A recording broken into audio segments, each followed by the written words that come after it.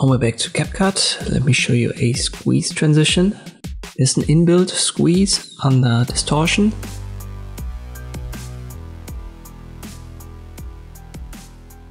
But I don't think it's the best because it's going to duplicate some frames and then it leaves you right here with a black bar. So if I increase the duration and I go over this again, you can see that right here. I go frame by frame. And you can see it switches right here from the footage to a black bar. And you can't really get rid of that with this default inbuilt transition.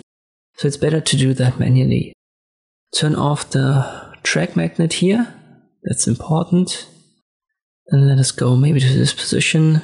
You want to select the top clip. So the first one. And then uncheck uniform scale and now you can adjust the height without the width being adjusted. Start an animation here for 100%, go to the end, turn it down, it creates a new keyframe.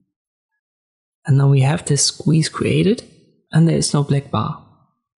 Obviously there's a black bar in the background now, but the squeeze isn't black anymore. So we'll just put our second clip down here where the animation starts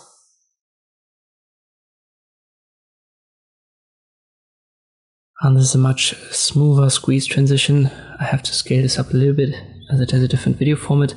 But you can see this allows us to get around this problem with the inbuilt squeeze transition. I hope this video was helpful, thank you for watching and I'll see you next time.